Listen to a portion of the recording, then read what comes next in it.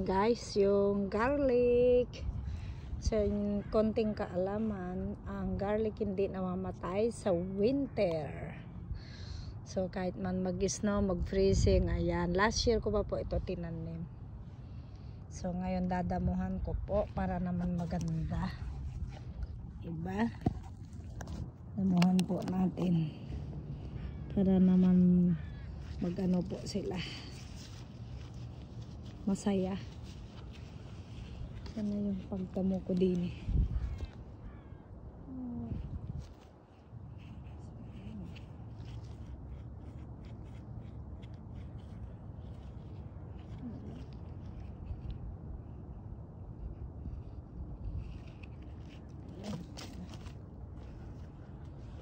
So, ayan guys, magdadamo po tayo guys para matuwa ang garlic.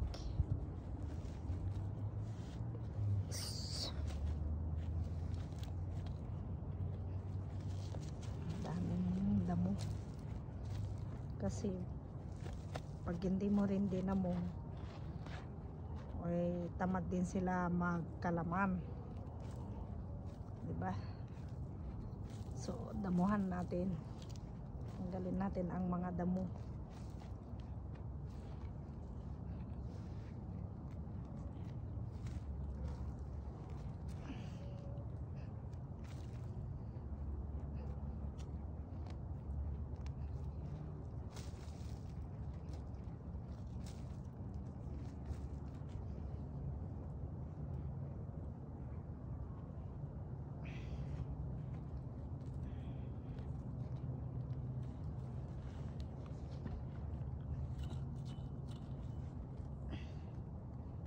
Ito lang ang pangit sa damo na to.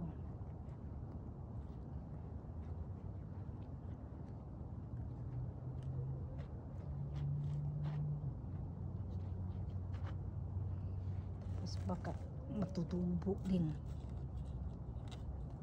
Visit mga klaseng damo to.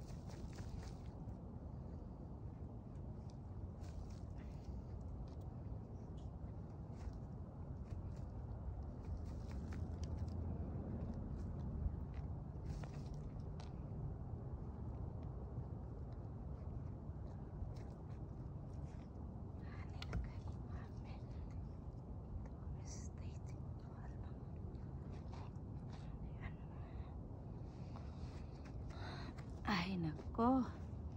Ganda ng araw po, pero ang lamig.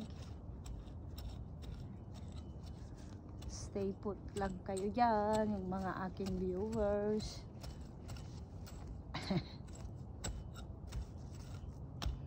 Grabe. Ang damo ng garlic. Bisit man to oh.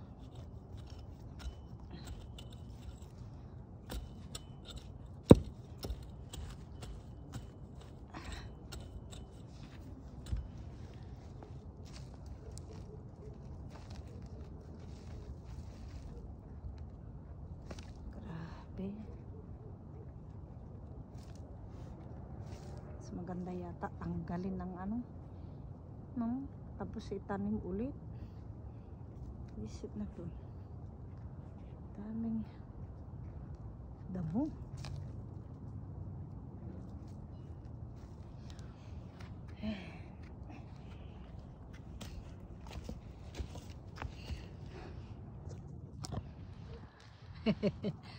Daming damo guys, di ba? Oh. Ayan oh, yung natapos ko. Pero ito muna yung natapos ko. Yan, gugumpitin ko siya para malaki ang laman niya pag kasi pasimula pa lang ang summer. So ititrim ko siya. Yan.